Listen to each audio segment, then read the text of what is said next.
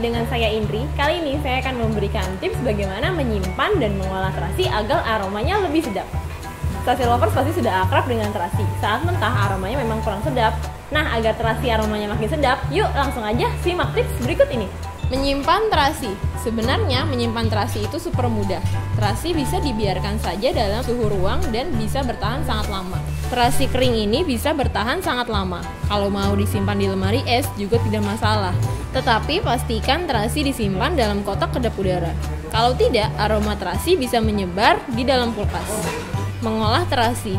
Bumbu seperti terasi wajib dimatangkan dengan cara dibakar dulu sebelum diolah. Pemanggangan dilakukan supaya aroma terasi jadi makin sedap. Caranya, terasi bisa disangrai di atas pan atau dibakar langsung di atas bara api. Dengan cara sederhana ini, terasi jadi double aroma sedapnya.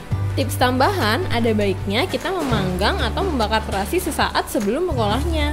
Tidak dianjurkan untuk menyetok terasi yang sudah dibakar karena aromanya justru akan hilang. Nah, mudah bukan tipsnya? Jangan lupa dipraktekkan di rumah ya, Sisi Lovers. Dan jangan lupa like, comment, share, dan subscribe YouTube channel kita. Sampai bertemu di tips berikutnya. Bye-bye!